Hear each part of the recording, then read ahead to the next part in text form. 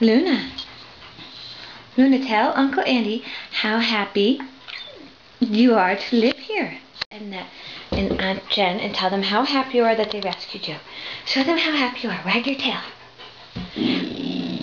What? Wag your tail at them.